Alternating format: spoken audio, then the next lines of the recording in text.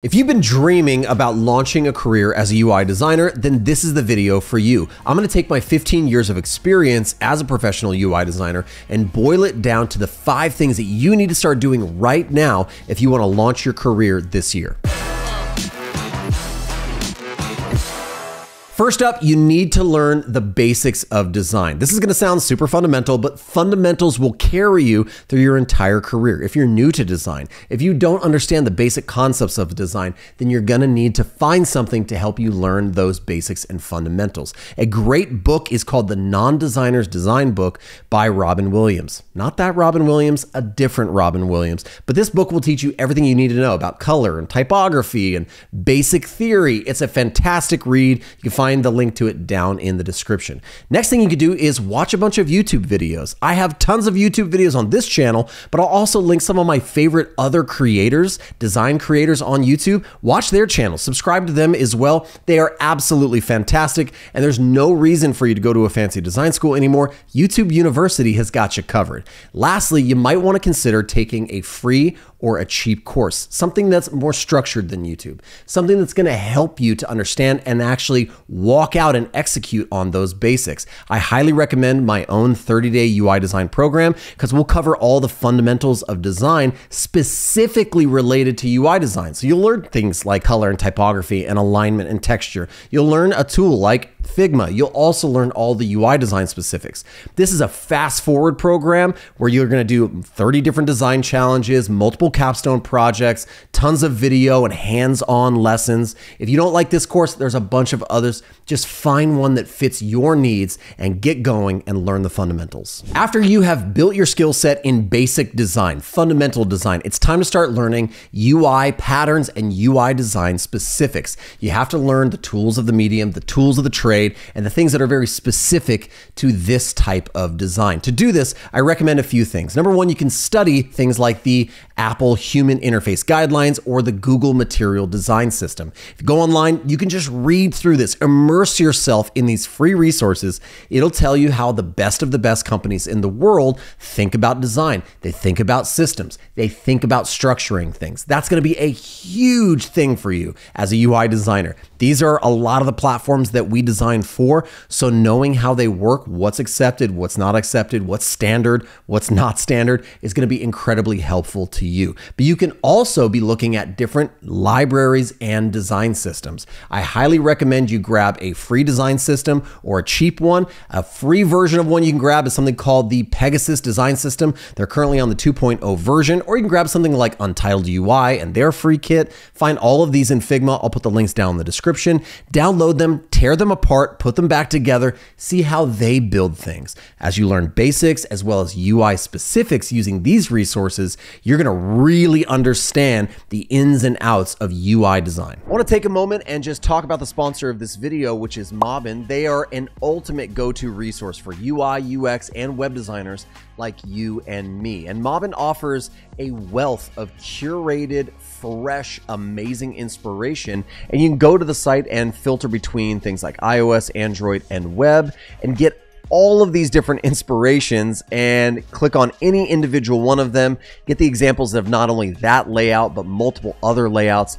that this website is using. And I can explore navigation patterns, color schemes, typography choices, and find the latest and greatest design trends all right there on Mobbin. And it's a powerful search engine that allows me to go in and find individual or specific elements. Like, do I want to find app categories, marketing pages, specific businesses, websites, or applications. You can find all of that on Mobbin, and the seamless experience makes it pretty much a joy to use. And so you want to go and experience the creative possibilities firsthand and unlock design excellence with Mobbin right now. The link is down in the description definitely give it a try. Once you've immersed yourself in the basics of design and then UI design specifics, it's time to do some capstone projects. And I recommend building three capstone projects. Now, the reason you're going to create these projects is because you need A, something to put in your portfolio if you want to get hired, but B, you need something that's tangible, something that's complete that you can get feedback and critique on.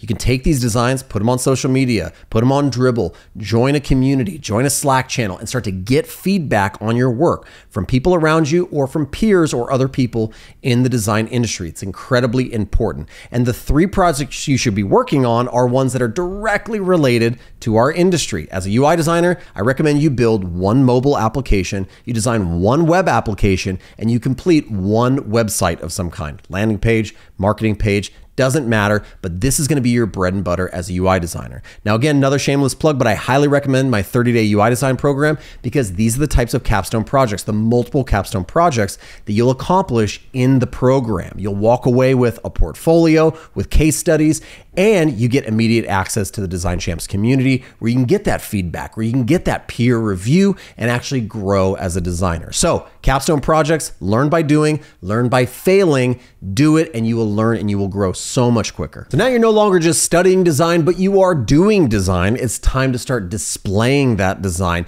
You need to create a value driven portfolio. Now, notice here, I didn't just say a portfolio or a website or even case studies. I said a value driven portfolio, a portfolio that showcases your value, not just the tools that you use or the projects that you've done or the experiences that you've had, but what type of value you are now able, because of all this learning, because of this growth, that you're able to now provide to companies or to freelance clients. I recommend these two things to go into any good value driven portfolio quantitative metrics and qualitative metrics. Now, these are user experience design principles, but they're directly implied to if you want to showcase value as a creative in your portfolio. What is quantitative? Quantitative is going to be hard numbers. This is going to be pretty tricky to get at first because this is analytics, metrics, numbers, details. Did you increase revenue? Did you increase traffic? And as you're just beginning, you're probably not going to have a lot of that. So you're going to lean heavily on the qualitative metrics. Now, qualitative is something as simple simple as 9 out of 10 dentists agree that this toothpaste is the best. A great way to get this is to take those case studies, take those capstone projects of yours, showcase them inside of a community like Design Champs, over on Dribbble, online, on Twitter. Get some feedback, but ask specific questions. A great way to do this also is to redesign something that was not so great and improve it, make it look better. Then you ask a simple question Does this look better? If four out of five people, including your mom, your aunt, your spouse, your best friend, and your dog, say that it's better, then four out of five people agree that your design is better. That's at least some value that you can actually communicate and showcase on your portfolio. Should your portfolio be filled with beautiful images of your design work? Absolutely. Should it include a narrative and a story on what you've accomplished and the problems that you solved? Absolutely, it should. But in my opinion, those pale in comparison to clear communication of the type of value, either quantitative or qualitative, that it brings potential clients or companies that are looking to hire you. For this last tip, I'm going to try not to sound like a motivational speaker or a online guru, but the final ingredient to you launching your UI design career is to just be consistent. None of this is going to matter if you are not consistent. And these are the three tips I recommend for being consistent. Number 1,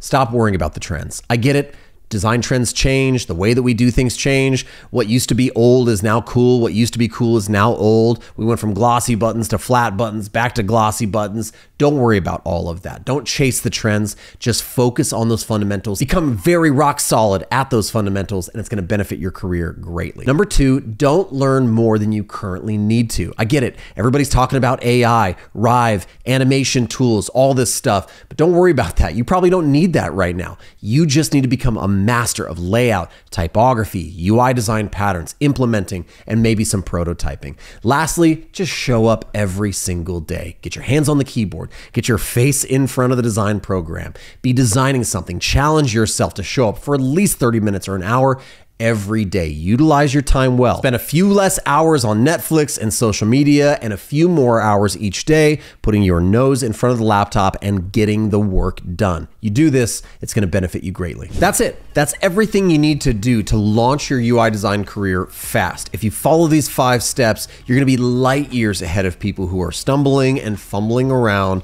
just trying to figure it out piece by piece.